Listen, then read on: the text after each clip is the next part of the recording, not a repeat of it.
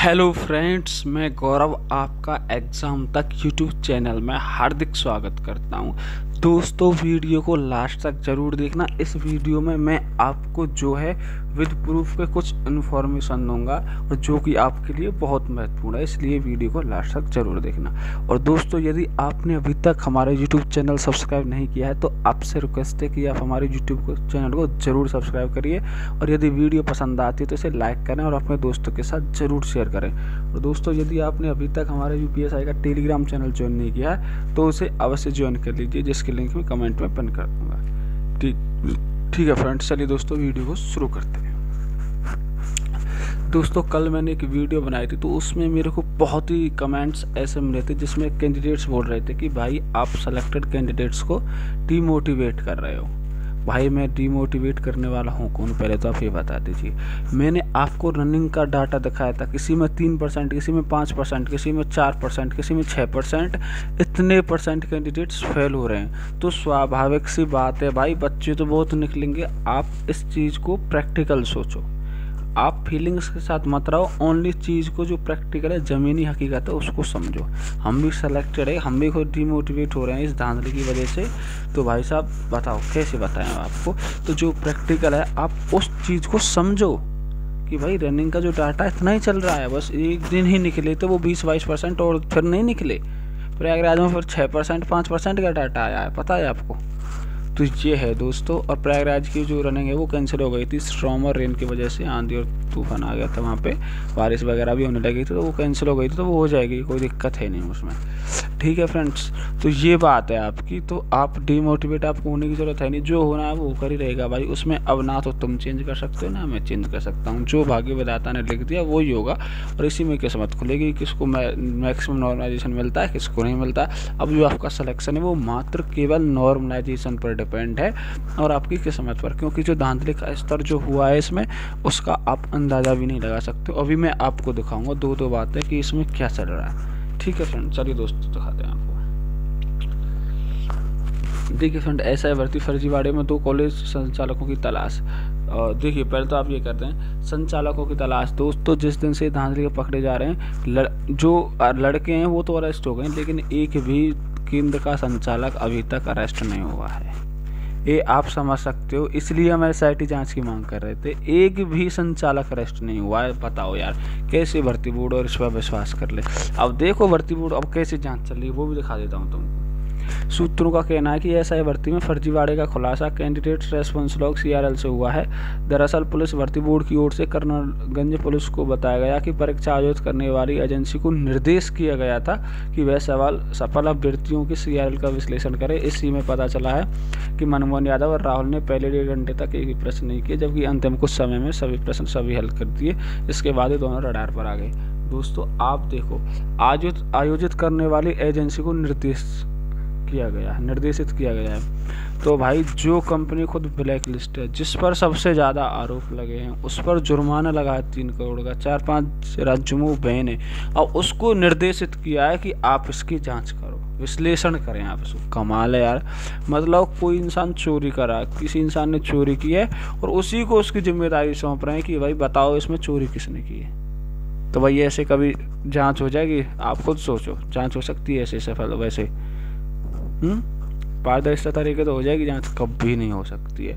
ना कंपनी कर सकती है, ना भर्ती बोर्ड कर सकता है। मैं आपको बता देता हूँ, साथियों, इसकी जाँच मात्र केवल एसआईटी ही कर सकती है, जो कि अब सेलेक्टेड हम जो कैंडिडेट्स हैं, अब साथ आ रहे हैं। तभी जाके वो उस पर ट्रेनिंग किया है।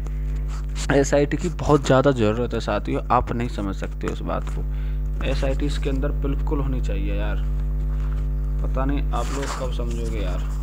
क्योंकि इसमें धांधली का स्तर का अंदाज़ा ही नहीं लग रहा। पकड़े जा रहे हैं, पकड़े जा रहे हैं। आज आपको दिखाऊँगा और कल की क्या न्यूज़ थी ट्विटर पे मैम ने क्या ट्वीट किया रियलिटी में क्या था, सब कुछ वो मैं आपको दिखाऊँगा। ठीक है फ्रेंड्स चलिए फ्रेंड्स और नेक्स्ट स्लाइड में चलते हैं।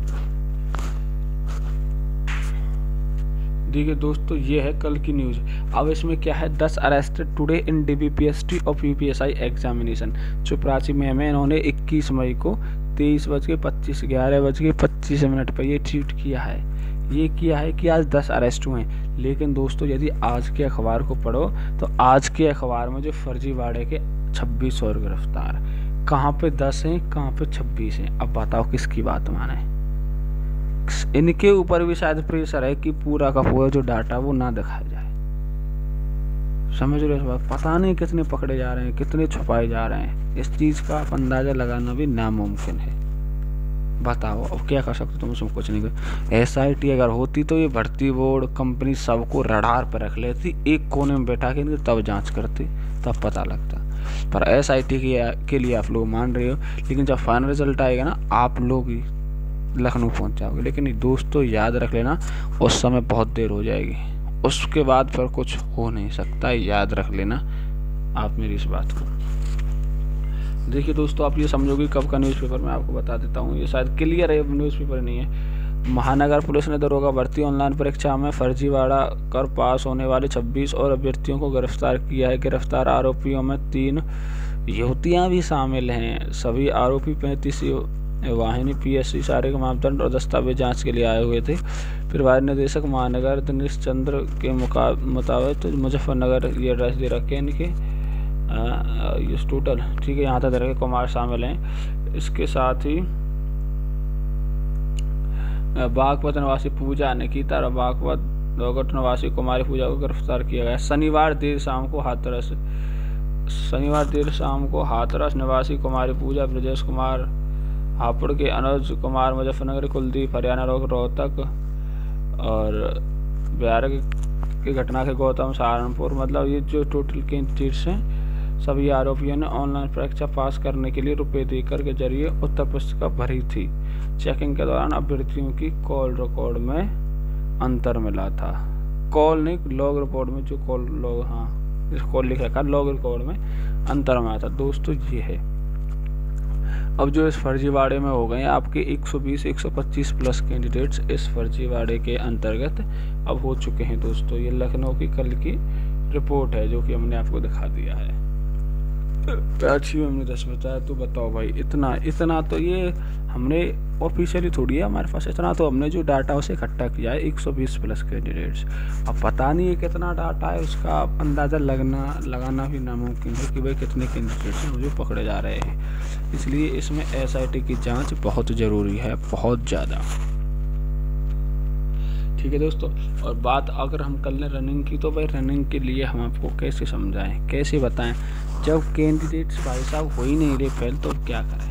अब इसके रीज़न है इनके इसके पीछे ऐसा नहीं है कि कोई बात, पहली बात तो मैं आपको बता दूँ रनिंग में भी धांधली चल रही है। आपको दिखाए थे दुकान पर सिटी के जो बाऊपरवा थाने में जकरकट्टी बस अड्डे पर पकड़े गए थे दो लड़के।